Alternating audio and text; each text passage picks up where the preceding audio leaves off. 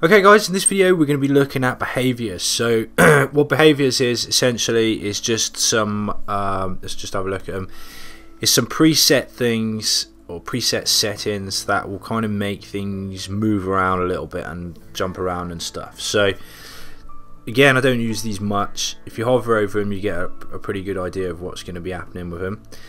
Ideal for uh, text really, although you can use them on uh, video and you can use them on images. But what we're going to do is just go to annotations and go to um, a plain text one like this one down here. And we're just going to drag it out here for the amount of time.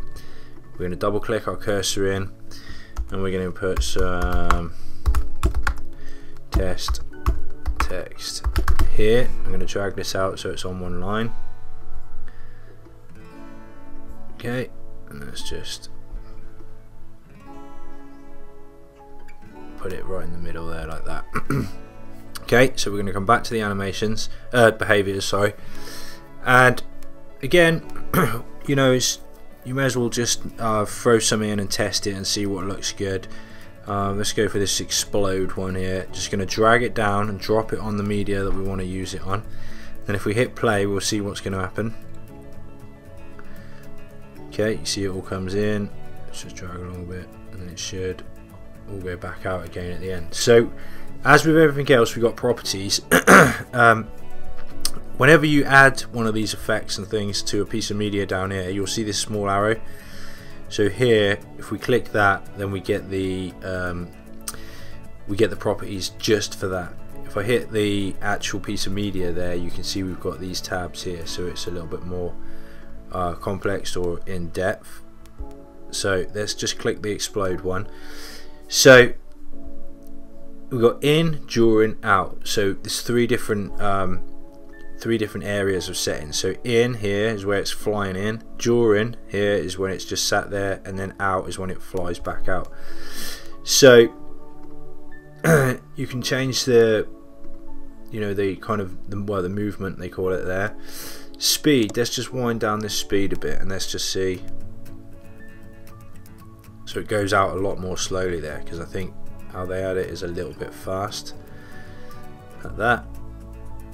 Okay, during style, let's, uh, let's have it pulsate in the middle, see what that does. So you can see it's just rippling a bit. So it's pretty eye-catching. If you're using text, then it could be quite good. This choice smooth on the movement for the way out. Not much different, got to be honest. Uh, loop time, scale. Wow. Actually, haven't actually used some of these settings, but that's pretty bonkers. what was that? Scale.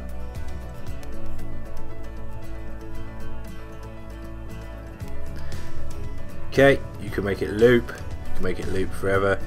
But of course best thing to, and if you want to remove say you've tested one of these you don't like it if you actually click on it so we come back to here click this little arrow click here right click you can copy it and you can paste it somewhere else or we can remove it like that. And then we can bring another one in and try another one and see how good that is. So as with anything uh, best thing to do is just throw it in test it and then hit properties over here or hit this one here and then just mess around with the properties and then you'll soon pick that up as well. It's pretty straightforward um, and that's about it for these. So I'll just show you one. Uh, let's just grab an image. Let's just have a look at one of these with an image just to show you that we'll work on images and stuff. Uh, see how this one boom so it's actually pretty cool there on be good if you had lots of photos and you're doing a photo slideshow so yeah that's it for this video and I'll catch you in the next one bye for now Thanks for watching the video. To watch the next one, click right here. And don't forget to hit the subscribe button right here.